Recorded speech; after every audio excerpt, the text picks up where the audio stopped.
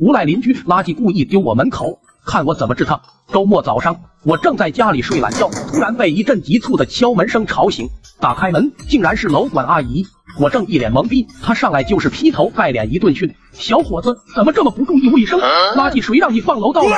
现在天气越来越热，你不知道垃圾会发臭吗？现在这年轻人真是懒得要命。”我大脑刚开机，遇到这么紧急的情况，突然有点反应不过来。但是我门边确实丢着几袋垃圾，可这不是我丢的。我刚要开口解释，他却已经骂骂咧咧的走了。我操！我这个气啊！大周末好不容易睡个懒觉，这下全毁了，还莫名其妙挨顿骂。我招谁惹谁了？这几天熬夜做的动画也没几个赞，我真是太难了。本来这件事我也没放在心上，但是我没想到第二天早上楼管阿姨又来敲我门。我靠，我服了，这他妈是谁呀？怎么又把垃圾丢我门口了？楼管阿姨又是一顿无差别攻击，然后还威胁我说再这样要加收我卫生费。不行不行，这肯定是有人故意的，我必须把他揪出来。事不宜迟，我马上在楼道角落安了一个小摄像头，走廊和门口都看得一清二楚。第二天早上，果然又有垃圾。我拿出手机看监控拍到的画面，监控显示是早上五点多，一位五六十岁的大妈蹑手蹑脚的把垃圾丢在我门口。但是虽然能拍到人，可她全程穿着宽松睡衣，戴着口罩和帽子，根本拍不到脸。这怎么办？事情到这里好像又卡住了。正在这时，我突然闻到一股鱼香肉丝的味道，顿时想到这应该是外卖。于是赶紧在垃圾里翻，果然被我发现了，垃圾里还有外卖的小票呢，上面写着详细地址。我一看，原来是楼上的一家，总算被我逮住你了。然后我就提着垃圾去找他。我敲开门，正是一位大妈。你谁呀？大早上的要干嘛？我说大妈，你不认识我吗？你当你谁呀？我就认识你。你有病吧？你不认识我，那你把垃圾丢我门口干嘛？我还以为我们之间有什么过节呢。这大妈看了一眼我手里的垃圾袋，眼神飘忽了一下，然后马上语气坚定的跟我说道：“什么垃圾？我不知道啊！你凭什么说是我丢的？你要有病，快去治病，别来骚扰我们。我儿子还睡觉呢。”然后就要关门，我一把把门顶住。你自己做的事还不敢承认吗？你是不是要我把监控给你看了？好，你拿监控，我看你有没有拍到我。我跟你讲，你要是没拍到我的脸，我就去告你诬陷。这垃圾里可写着你家门牌号呢。大妈，就这么件小事，只要你承认了，而且不再丢了，不就行了吗？不是我丢的，我干嘛要承认？真是搞笑。要不然你打我，来来来，打我打我。说着，这大妈一歪脑袋就要往我怀里扎，吓得我赶紧往后退。这小可爱我可顶不住。我真是不知道人竟然能无赖到这种程度。正面过招我失败了，我还是去物业投诉吧。我来到物业，把事情经过讲了一遍，结果没想到物业经理一边玩着手机，一边跟我说：“我们会去调解的，你先回去吧。”我说：“我都没跟你说是哪家呢，你去跟谁调解？你能不能认真一点？”那你说嘛？再说不就是丢个垃圾吗？又不是多大个事，你家又挨着电梯，顺手帮人家丢一下怎么了？那你的意思是这件事你们物业不管是吧？我有说不管吗？我说了，我们会去调解。难道我还用你教我做事吗？行，你们物业真行，你等着，有我治你们的时候。但是现在还是要先把丢垃圾的这家给办了。你们不是给我门口丢垃圾吗？那就别怪我用其人之道还治其人之身了，而且是加倍奉还。但是我家里没有那么多垃圾，于是我就去楼下垃圾桶里特意拿了几袋出来，然后趁晚上没人，就一股脑全堆他家门口了，封了个严严实实。第二天。大妈开门的时候，那垃圾突然没了支撑力，就像雪崩一样，瞬间倒了下来，把大大妈鼓悠了半天，才从垃圾堆钻出来。看到大妈这狼狈的样子，我心里别提多解气，甚至还想多来几次。但是怎么对付物业，我还没有想好。小伙伴们，你们有什么好办法吗？评论区告诉我吧。我是王金条，我的愿望是世界。邻居竟在楼道打扑克，跟我斗，你们还嫩着呢。我是个做动画的，正经的那种，这是我目前的经济来源，可以说我就是靠各位铁粉喂饭吃的。对对对，你能给我个三连，我今天就能加个鸡腿。当然，安静舒适的创作环境也是必不可少的。但是我的邻居张大爷显然不这样想，他有点太闹腾了。也许是退休金给了他充足的动力，这大爷的精力比小伙子都好，每天早上都跑去公园跟大妈跳舞，要不然就在小区楼下唱歌。说真的，没被十个老太太甩过，都唱不出他这个感觉。而且他每天下午都会跟几个大爷在楼道里打牌下象棋。别问我为啥在楼道，我也不知道，我只知道他们声音特别大。我在屋里做动画，外边一个飞机一个炸弹的，炸弹炸得我一点思路都没有。他们不光扰民，抽烟也是个大问题，一点不夸张。这帮老烟民真的是一根接一根的，弄得楼道里全都是烟味，顺着门缝就往屋里钻。有天我实在是忍不了了，去找他们，一开门，好家伙，这烟雾缭绕的，这帮人也不怕把自己呛死。我拨开腾腾烟雾，把张大爷叫出来。张大爷，我说咱们能不能换个地方打牌呀？这是楼道，你们这样吵得我没法工作了。小伙子，我们在楼道打牌怎么了？这楼道可是公共空间。是，楼道是公共空间，但是你们这样扰民呐、怎么扰民了？你看，除了你，还有谁说我们扰民？大爷，今天是工作日，人家都去上班了，当然没人说你们。那我不管，反正我们占的是公共空间，公摊费我们都交了，我们当然可以用。你要嫌吵，你出去。年纪轻轻的哪那么多事啊你？行，大爷，这可你说的啊，那以后可就别怪我了。我说的怎么了？你还想打我啊，小兔崽子！眼看跟他聊不下去了，我赶紧摔门回了屋。这冲突可不能升级，要不然更麻烦了。你说我要是打了他，不但要赔钱拘留，最重要的是丢人呢。王金条打老头，这传出去太难听了。而且反过来，我要是被老头打了，那传出去就更难听了。我可丢不起这人。我已经想好怎么对付他们了。第二天，我从杂货间里又把我那低音炮拿出来了。没错，今天又是他的主场。我下载好嗨曲，把房门打开，低音炮就放在门口椅子上，等外边打牌的大爷们各就各位了。我一按开关，我靠！一位大爷的假发差点给震掉，还有一大爷捂着胸口，心脏病差点给吓出来。他们看我开着门放嗨曲，肯定是故意的，气得我隔壁大爷一脚把门给我踹上了。但是这种低音穿透力太强，关门也不顶事，震得头皮都发麻。然后我又故意把门打开了，对不起啊，大爷，开不起空调了。我开门凉快凉快，你们继续，你们继续。你个小兔崽子，诚心捣乱是吧？赶紧把音响关了，刚才差点把老刘头的魂吓没了。大爷，我在自己家听音乐怎么了？废话，你说怎么了？你这太扰民了。没事，现在邻居都去上班了。再说我是在自己家里放音乐，又不是在公共场所。行，你们在楼道打牌，不行，我在家听音乐吗？说完，我头也不回就进屋了，把张大爷气得鼻子都歪了。虽然这低音炮对我来说也很烦，但是长痛不如短痛。我如果现在不把他们赶走，那以后我就别想有好日子过了。大爷看我不好拿捏，准备给我来硬的，先是在门口砸了我几下门，大声呵斥我赶紧关了。我在屋里回应他：大爷，你们玩你们的，不用管我，我不嫌费电。把老头气得眉毛都快炸了。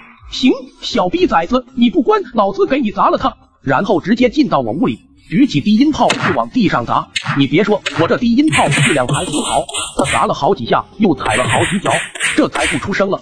然后还恶狠狠地冲我喊：“小子，我让你给我狂！以后你再敢给我捣乱，我把你家都给你砸了！”然后就摔门而去。呵呵，不用了，这一次就够你喝一壶了。我已经把他私闯我房间打砸的经过都拍下来了，直接我就报了警。告他寻衅滋事，扰乱社会治安，进我家里打砸。幸亏他没把低音炮拿出去，要不然我直接告入室抢劫了。小样，我还治不了你。等警察到了，了解情况后，把我们带到了所里。一开始大爷还骂骂咧咧的，后来警察给大爷说他已经违法，并且有可能会拘留之后，他这才知道害怕了。但是这还不足以解决问题，还要给他一点心理攻势。我说大爷，你想想，这些人为啥非来你这打牌？是因为他们怕得罪自己的邻居，现在你为了他们导致咱邻居之间闹矛盾，你觉得值当吗？而且现在出事了，那些人跑的一个比一个快，现在坏人你当了，局子你也进了，他们会有人同情你吗？大爷被我这一番话说的热泪盈眶，好像受了多大委屈一样，一下就拿我当成了兄弟，拉着我的手才道歉呢，并且说一定赔偿我的损失，只要不拘留就行。其实邻里之间都是一些小摩擦，有时候多为别人想一点。就能避免很多矛盾，但是如果矛盾不能直接解决，那就试着换个方向，曲线救国。我是王金条，我的愿望是世界和平。么么么么么么么么么么么么么哒！邻居大妈砸我车，还要告我诬陷，最终被我两极反转。我的邻居张大妈素质可以说是非常差，但是听说她以前还是位老师，这真是离了大谱。这样的素质得毁多少祖国的花朵呀！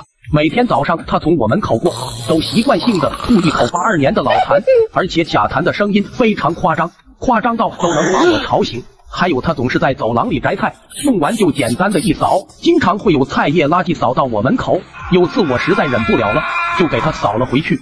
结果当天晚上他就在楼道里开始骂大街，他也不说骂谁，反正就是什么小兔崽子人事不懂等等这样的话，我肯定知道这是骂给我听的，给我心里这个窝火。而且从那之后，我发现我停在楼下的车上总是有垃圾，甚至还有用过的卫生纸，一看就知道是故意丢的。我每天早上着急上班，还要先收拾半天垃圾，可怜我这刚洗香香的小手，不能再惯着了，我非抓到你不行。有一天，我特意起得很早。然后就在车里坐着，过了一会，就我邻居张大妈从窗户伸出脑袋，鬼鬼祟祟的左右瞅了瞅，然后拿出垃圾桶就往外倒。我一下车，吓得她赶紧把头缩回去了。我看着这满车的垃圾，气得真想骂街，而且这里面啥都有，竟然还有用过的 T T，可把我恶心完了。我冲着楼上大喊：“张大妈，你把你孙子扔下来了，你快来看看吧！”因为张大妈儿子儿媳还没有孩子，所以我这么一喊，好多人都往外看。就张大妈不敢露头，倒是他儿子还蛮懂事，红着脸下来跟我道歉，说之前不知道，一会回去跟他妈说一下，然后还说给我洗车。我说不用了，车我自己去洗就好。只是我觉得大妈可能是对我有点误会，都是邻居，这不是让别人看笑话吗？这大哥就一直给我道歉，说以后肯定不会这样了。打这之后，别说他家垃圾也不扫过来了，大妈也不在我门口吐痰了。我以为事情就这样过去了。但让我万万没想到的是，过了好像有一个多月，有一天早上我去上班，突然发现我车的大灯竟然碎了，没有事故现场，就是大灯坏了。这很明显是有人故意砸的，想也不用想，这事绝对是张大妈干的。我直接跑到楼上去找她，敲开门，张大妈看到我，眼神飘忽了一下，然后又强装镇定：“你干嘛了？”其实她越这样，就越证明是她做的。大妈，我的车灯被砸了，你知道是怎么回事吗？哎呦，你这个人真的是，你车灯被人砸了，你来问我干什么？你活该被砸，砸的少。大妈，我没有说是被什么砸的，你怎么就知道是人砸的呢？张大妈被我这么一问，突然有点慌，嘴皮子都打滑了。你你你肯定是得罪了别人，被砸车了。大妈，其实我过来找你也是好意，是不是你不小心碰到了我的车灯？你有毛病啊，血口喷人啊你！你说是我碰的，有证据吗？我们这边监控都拍不到，饭可以多吃，话可不能乱讲啊！大妈，你连监控拍不到都知道，看来你都踩好点了。那既然这样的话，我就报警喽，到时候可就不好收场了。你爱干嘛就干嘛，跟我说不着。这老太太真是不见棺材不落泪，那就让别人来治你吧。警察上门之后，张大妈还很嚣张，还说我就是无赖，要告我诬陷好人。呵呵，我跟无赖斗了一辈子，结果现在被人反骂，没办法，我只能拿出证据了。大妈，咱们小区这边虽然监控拍不到，但是你知不知道一种叫行车记录仪的东西？现在的行车记录仪都是有停车监控功能的，只要感受到车前有人或者有震动，就会拍下来。要不要给你看看拍的你美不美？大妈一听这，当时吓得瞳孔都放大了，脸上写满了问号。科技已经这么发达了吗？大妈，你觉得没有证据我们会直接上门吗？还说人家诬陷，你砸那大灯已经可以立案了，知道吗？走吧，跟我们去所里一趟。大妈这一下再也嚣张不起来了，耷拉着脑袋上了警车。虽然这件事已经可以立案了，但要真把这么大岁数的老人扔进去拘留几天，确实是说不过去。对对对。所以经过调解，最后大妈儿子赔了我一个杂不溜，我也给他写了个谅解书，这件事就算结了。估计大妈现在也不能理解啥是停车监控。我真实经历过几次事件，停车监控确实是非常实用的功能。俗话说得好，君子易出，小人难防。我们不能奢求所有人都有很高的素质，但是我们可以用方法来约束他们的行为。我是王金条，我的愿望是世界和平。么么么么么么么么么么么么么哒！熊孩子玩火，竟把整个商场点了，最后赔到倾家荡产。我们这边有一座老商场，很多年了。说是商场，其实就是一座大棚，里边都是一些批发服装的小店。每天下午六点关门，外边卷帘门一拉，里边的货物就那么摆着。大熊妈在这商场里有一家店面，大熊每天都来这里玩。正好隔壁店铺也有个熊孩子，这下可好了，两个熊孩子碰一起，一加一可远远大于二啊！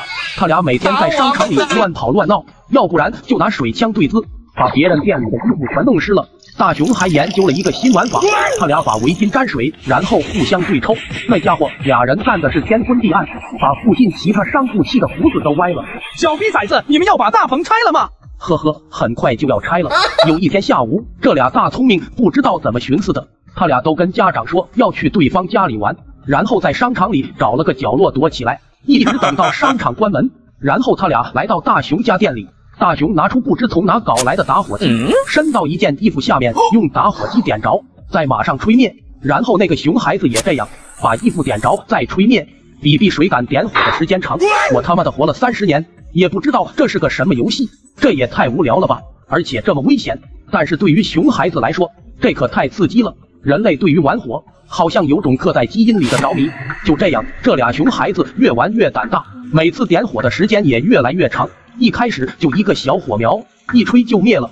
后来要拿手拍才能灭，再后来要手拍加上吹才能灭，极度危险，已经到了失控的边缘。但是现在这俩熊孩子已经玩得忘乎所以，欲罢不能了。又一个回合，大熊点燃了一件新衣服，他想，我这次一定要赢。火光映红了他的大脸，大熊激动的嘴角上扬，露出了狰狞的笑容。他不知道接下来会引发什么样的后果。火苗越烧越大，大熊还不准备扑灭。这时那个熊孩子已经有点害怕了，开始推大熊。大熊这次抱着必胜的决心，不为所动。看着大熊狰狞的面容，把熊孩子吓坏了。大熊大熊，赶紧灭了吧！我服了，行不行？你胆子最大，我认你为大哥。我服了。听到他这么说，大熊才赶紧灭火。可是火势已经太大了，他们俩用嘴吹，用手拍，把衣服扔到地上踩，都不行。他俩用其他来拍火，但这都是易燃品。他俩这一甩，火苗一下四散开来，瞬时间已经成了一片火海。这是间老商场，消防设施严重老化，房顶的烟杆就跟没有一样。衣服烧起来真是太快了，一片连一片，一间连一间，火烧连营就是这样的场景。衣柜的墩布、衣服所有全都烧了起来。外边有人发现里边着火了，但是打不开门，急得在门外直跺脚。商场里此时就好像是炼狱一般，熊孩子吓得止不住的哭喊。这时幸亏有一位维修师傅带着手电锯，这才把门切开。人们赶紧进去救人，找到熊孩子时早已没了意识。赶紧送进了医院，而整个商场也在几分钟内就烧得差不多了。经过抢救，很遗憾，两个熊孩子只是吸入了过多的烟尘晕过去了，养几天就好了。大熊出院的那天，熊爸把整个房间都用木板钉死了。大熊，我们的房子马上就要卖了，在这里让我再打你最后一次吧。因为两个熊孩子还是未成年，所以不构成纵火罪，但是刑事可免，民事可免不了。这场火灾除了商场的责任外，作为熊孩子的监护人，也要负很大一部分责任。没办法，卖房不够的话，就砸锅卖铁吧。金条，我现在跟他断绝父子关系，这样可以吗？我不清楚，你们有了解的吗？评论区告诉我吧。我是王金条，我的愿望是世界和平。么么么么么么么么么么么么么哒。熊孩子勇斗雪糕刺客，结局十分惨烈。最近放暑假，和我结为复仇者联盟的小表弟又来找我了。他这次来是为了征服小区里其他的熊孩子。老家已经没有挑战性了，但是小区里本来就有一个孩子王，这孩子熊的也不轻，小区里的孩子都怕他。表弟这一来，两股势力碰撞，势必要引发一场大战。但是我们结盟时承诺过，只要敌方不使用核武器，我方绝不率先动用小表弟。不过最终还是小表弟赢了，而且是不战而屈人之兵。事情是这样的，一天表弟要吃雪糕，于是我就带他去了小卖铺。孩子们都这样，一看见这么多零食和雪糕，俩眼都放光了，一头就扎进了冰柜里。看着那一冰柜不知道名字的雪糕，可把我吓出了一身冷汗。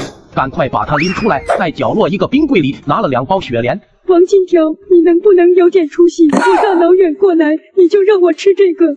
他们都说这不干净。表弟不，新弟，听我说，那个冰柜里的雪糕我吃了两年。房子被我吃没了，女朋友被我吃跑了，好不容易有个便宜的雪莲，你们却说它脏。我从小就吃雪莲，它脏不脏我还不知道吗？女朋友都跑了，那你现在还不如我呢。呵呵，你还是太……就在这时，小区那位孩子王也跟奶奶来超市了，一眼就看见我们手里拿的雪莲，轻蔑的一笑，跟奶奶说道：“哎，有的人啊，吃不起雪糕，就别出来丢人现眼了。”我操，现在的熊孩子这么小就会指桑骂槐了。整得我跟表弟确实有点尴尬。然后这熊孩子在好胜心的驱使下，一头扎进了雪糕冰柜，呼呼啦啦装了几十根雪糕。表弟无奈的看了看我，那眼神我懂，是我害他在这个环节输了。熊孩子把雪糕放到收银台，收银员结算后对孩子奶奶说：“您好，一共消费四千八百元，请问现金还是刷卡？”听到收银员的报价，可把老太太吓了一跳。多多少？四千八。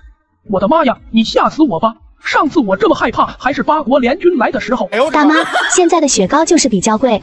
那边的雪莲便宜一些。这时表弟接过话茬，哎，有的人啊，吃不起雪糕，还非要打肿脸充胖子，装逼是要付出代价的。熊孩子听到表弟这么说，当下就不干了，心想今天这个面子绝不能栽，于是他就开始打滚，然后指着冰柜说：“今天你要是不买，我就钻冰柜里冻死我自己。”大妈为难的说：“大熊，你这样让我很难办啊。”熊孩子一听这话，压抑的怒火一下喷发了，难办，那就别他妈办了。一把就把冰柜给掀翻了。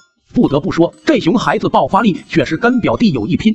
冰柜里的雪糕洒了一地，熊孩子发起火来也控制不了自己了，一脚一个把地上的雪糕踩了个稀巴烂。看到这个场景，大妈赶紧拿出速效救心丸。那一刻，她终于回想起了被雪糕刺客支配的恐惧。收银员这时也劝大妈，快去阻止他，要不然你等着卖房吧。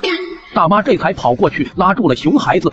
最后经收银员确认，此次事故一共报废雪糕一百零六根，合计一万多元，所幸并无人员伤亡。大妈这时早就吓得说都不会话了，哆哆嗦嗦的给熊孩子爸打了电话。熊爸到了之后也气得不行，指着收银员就骂道：“你这雪糕皮是金子做的，还是雪糕棍是金子做的？你这不是讹人吗？”收银员冷冷的回道：“现在雪糕就是贵，吃不起就不要动。看你孩子还小，冰柜就不用赔了，你就把损坏的雪糕付了就行。我还提前跟你说，你儿子这情况都属于故意损坏财物了，而且金额巨大，你可别逼我报警啊！”熊爸一听也怕了，骂骂咧咧的刷了卡，然后提溜着熊孩子就走了。当天晚上，熊孩子被吊起来打了整整一宿，惨叫声不绝于耳。估计这个暑假应该是下不了床了。这个小区理所当然成了小表弟的地盘，太惨了。他才十二岁，他只是想吃几根雪糕，你说他有什么错？在这里，我奉劝各位家人，珍爱生命，远离雪糕刺客。我是王金条，我的愿望是世界和平。么么么么么么么么么么么么么哒！这一次，小表弟竟然败了，于是他发起了绝地反击。表弟暑假一直在我这里，因为已经征服了整个小区的熊孩子，所以他最近感到有点无聊。他开始怀念村子里的小河，跟小朋友一起戏水的乐趣。村子里的小朋友水性都很好，也说不上他们那叫什么泳，但是游的都很快。我了解表弟的烦恼，但是城市里确实没有那样的地方。水上乐园的水质又很差，这就是城市跟农村的区别，跟大自然的交互体验很差。不过河里游泳也确实有危险，所以我想了一个办法，既然不能游泳，那打水仗也不错啊。于是小表弟就叫来几个小伙伴。各自都带上了装备，准备在小区的小广场来一场大战。此次战斗分成两个阵营，表弟对自己的战斗力有着充分的自信，所以独自为战，其他人团队作战。而且特意交代，打水仗时他不是大哥，让大家放开了打。这一下把小伙伴的积极性都调动起来了，几个孩子开始制定作战计划。水枪也分型号，有拿小水枪近身强攻的，有用大水枪远距离持续输出的，甚至还有拿气球做水弹来范围伤害的。这些孩子虽然现在迫于表弟的淫威，装出人畜无害的样子，但是骨子里也都是熊孩子啊！今天这么好的机会，可得好好出一出心头的恶气。反观小表弟这边，虽然大小水枪都装备了，但火力还是太弱，而且不能持续输出。虽然小表弟在打架方面颇有造诣。但是现在规则不一样了，现在玩的是打水仗，这就好像一位很牛逼的武林高手，但他也干不过加特林呢。而且对方还有水弹，一颗水弹扔来，表弟直接失去视角，不到一个回合就招架不住了。感叹表弟曾经多么的不可一世，现在也终于感受到了众生平等。但表弟可不是轻易能认输的人，他充分意识到了这次失败的原因就是装备上的不足，所以要想打翻身仗，就必须要加强装备。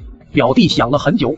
然后在桌上画起了图纸，一连两天，表弟都把自己关在地下室，而且地下室里不时传来闪光和电焊的声音，不知道他在搞什么秘密武器。第三天，表弟终于出关，并且带着他的秘密武器亮相了。原来他是把我给他买的那辆电动遥控车给改装了，加了一个储水罐和两个高压喷头，并且配备了一个小型的水泵，这样可以喷出远距离的水柱，或者是连发水弹。再配上他家祖传的小草帽。这下不管是防御还是攻击 都没有问题了。表弟开始摇人，一开始对方几个熊孩子还很狂，呵呵，差不多得了，打水仗你差远了，这样下去你多没面子啊！表弟微微一笑，一声令下，然后就跳上了战车，一摁开关，高压水柱瞬间喷出，可以说是一下一个熊孩子。这群熊孩子哪见过这，就好像拿着火铳的士兵第一次遇到了一样，打没法打，跑也跑不过。这水柱沾上一点就被甩飞了，而且攻击范围还很大，打得他们是落花流水，根本不能突围。于是他们就想绕到后方去，利用灵活的机动性打表弟个措手不及。但是他们没想到表弟留了一手，一脚油门下去，然后让一侧车轮爆死，来了一招无敌风火轮，高压水柱顿时开启了三百六十度无死角扫射，强大的高压加上离心力，把他们衣服都快滋飞了。对面阵营直接缴械投降。不得不说，这辆战车真是小母牛过生日，牛逼大了，堪称打水仗神器。表弟又一次站在了熊孩子的顶端。小伙伴们，由于近期平台对熊孩子类型的视频审核过于严格，很多视频不给通过。但是小表弟的呼声又很高，所以只能做一期画风和谐的内容给到大家。但是这个视频做起来的难度还是很大的，所以拜托拜托，还请帮我点个赞，万分感谢。我是王金条，我的愿望是世界和平。么么么么么么么么么么么么么哒！这可能是熊孩子最惨的一次。那一刻，我仿佛看到了地狱般的场景。在外面吃饭最怕遇到什么？饭菜不好吃吗？服务态度不好吗？不，都不是。最怕的是遇到邻桌带着熊孩子。上周五，我跟二狗在外面吃饭，我们隔壁桌是夫妻两个带着一个熊孩子。我们刚坐下的时候，那个熊孩子应该是在玩游戏，一直大喊大叫的。熊爸和熊妈也是一边吃饭一边自顾自的玩手机。这时服务员走了过来，礼貌的提醒他们说尽量管管孩子，实在太吵了。其他顾客都有意见了，没想到熊妈直接回怼道：“你有毛病吧？他还是个孩子，谁家孩子不吵？孩子不吵不闹的，长大了能有出息吗？真是多管闲事。谁有意见让他来找我。再说了，我在你家吃饭，我他妈也花钱了，我也是上帝，上帝吵一点怎么了？怎么了？”噼里啪啦把服务员一通讯，这倒霉服务员都快哭了，不停的道歉。熊孩子离我们最近，估计熊妈怀疑是我们叫的服务员，于是就阴阳怪气的说：“有些人呢，就是吃饱了撑的，没事找事。”这时候熊孩子可能是游戏输了，把手机一扔，也坐不住了，不停的用力往后撞椅背，因为他的椅子跟二狗的椅子紧挨着，所以被他撞的连饭都吃不了了。二狗就站起身跟熊爸说：“大哥，你儿子这样，我都吃不了饭了。”谁知这大哥也不是善茬，你吃不了饭跟我有什么关系？我们是在自己桌上动，吃不了你换位子啊！二狗被他说的哑口无言，可能主要也是觉得打不过他。我感觉今天这饭吃的也真是晦气，气都气饱了。熊孩子觉得无聊，开始在餐厅里到处溜达。二狗我俩就一直盯着他，生怕一个不注意被熊孩子搞个偷袭。这熊孩子先是在一个盆栽里撒了泡尿，然后又跑到自助调料区，把调料撒的到处都是，好多人都看不过去了。这谁家孩子也没人管，真是没家教。熊孩子看别人越生气，他反倒越开心，冲着他们做起了鬼脸，实在是太欠揍了。我心里暗下决心，只要他来惹我，我一定教他怎么做人，让他尝尝我沙包大的拳头。但是接下来熊孩子的下场可比这惨多了。熊孩子四处寻找可以搞破坏的目标，最后他决定要玩桌子上的转盘。一开始我还以为他会把转盘打碎呢，后来才发现他就是单纯的转着转盘。嘴里还不停的叫着买定离手，买定离手。我是真的服了这一家的教育。熊孩子正玩的不亦乐乎，这时候服务员走过来，劝告他不要在这里玩了，有客人订了这个桌子，马上就到了。然后还在上边放了一壶水。熊孩子哪管这个，服务员刚一转身，就冲着他吐了一口吐沫，然后又开始了转盘游戏。这次他卯足了劲，一下让转盘转得飞快，嘿但是强大的离心力一下就把桌上的水壶甩了出去。好巧不巧，正冲熊孩子脸上飞去。如果就仅仅砸一下，倒还好。可那壶里还有水呢，刚做好的滚开的水呀，从头到脚泼了满满一身，滚滚的浓烟瞬间把他笼罩住了。熊孩子发出了无比凄厉的惨叫。等水蒸气散去后，我发誓，我看到了这辈子最恐怖的场景。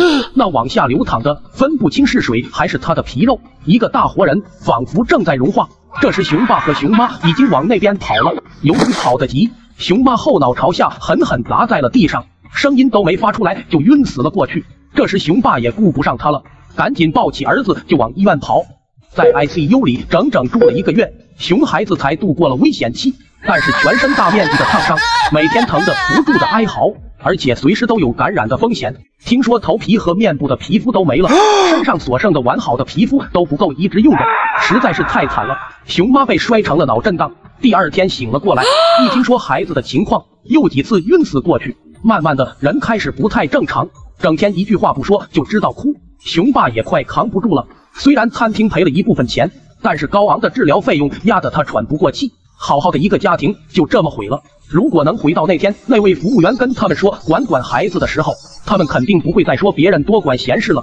但是现实就是现实，没有如果，危险无处不在。让一个孩子自觉自律是很难的，都需要家长通过言传身教来管束。如果家长在这方面偷了懒，那迟早有一天会得到应有的教训。我是王金条，我的愿望是世界和平。么么么么么么么么么么么么么哒。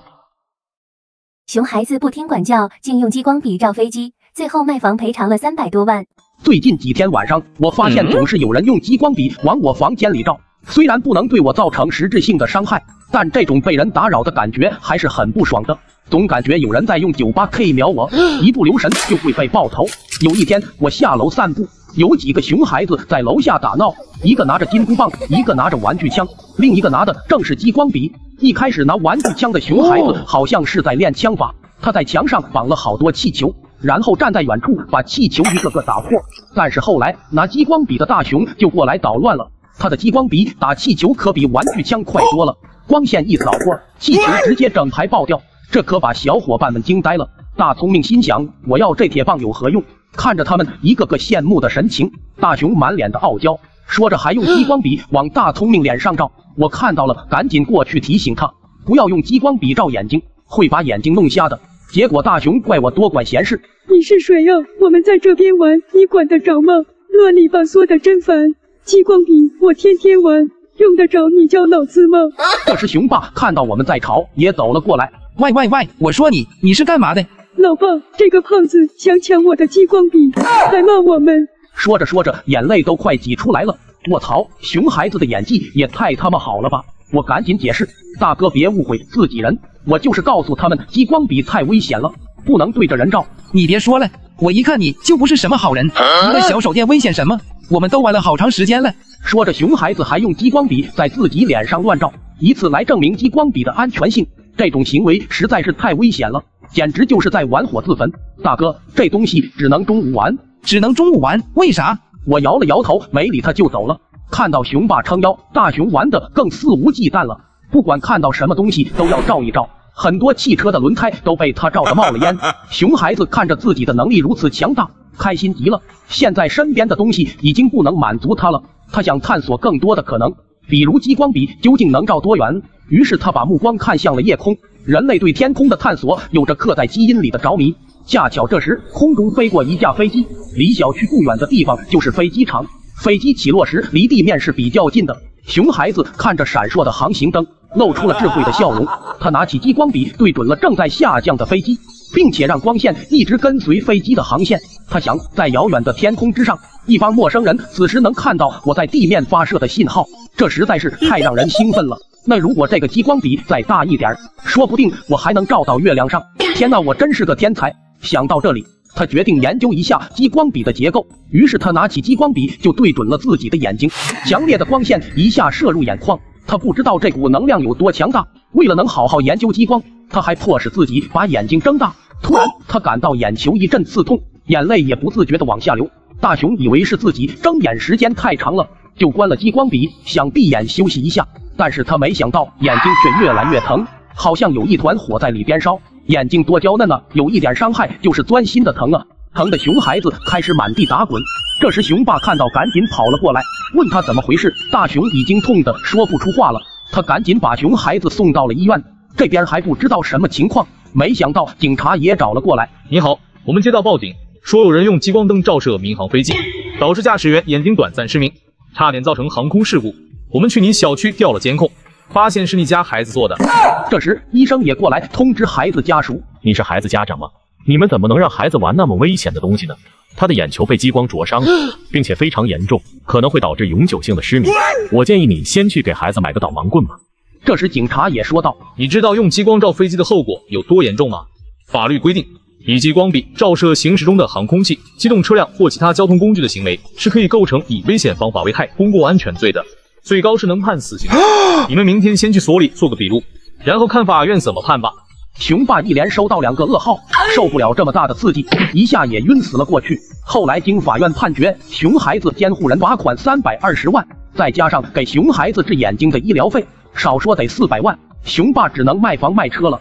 激光笔的威力是非常强的，尤其是那种绿色或者紫色的，千万不要误以为它只是个玩具，一定要有防范意识，才不会像熊孩子一样害人害己。我是王金条，我的愿望是世界和平。么么么么么么么么么么么么哒。